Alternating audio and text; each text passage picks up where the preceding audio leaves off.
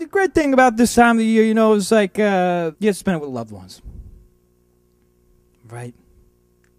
You know, and unfortunately, you know, I just got out of a relationship.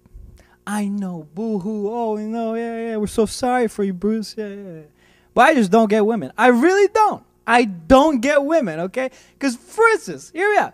When a girl's down the dumps, it's like, give me chocolate, right? I gotta have chocolate, right? Now, when a guy's down the dumps, it's like, you know, uh, you know, you know, uh, two chili dogs and a six pack of beer, please. You know, one of us wants something dark and creamy. Yeah, the other one of us wants something that'll, you know, you like su- suppress the pain inside. Because this might this might be something you never experienced before.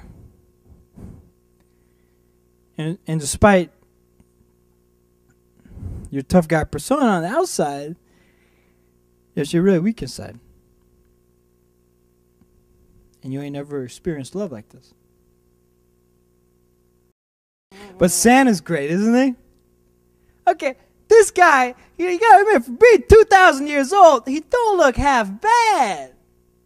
Right? I mean, like, he's 2,000, you know, I mean, like, sure, you know, he's got a little roundness here, and here, and here, and here, but, uh, you know, he looks pretty good. I mean, you should have seen my grandpa at 82. No, seriously, I mean, the guy couldn't, he couldn't ride no sleigh, you know, he couldn't, you know, slide down no chimney. No, no. He was much better at sitting on his keister, calling my uncle a fairy, and smelling like two day old beef stroganoff.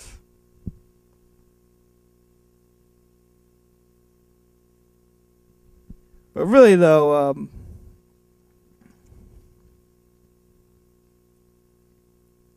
I really do wish you know I had I had somebody to be, to be with in this this time of year.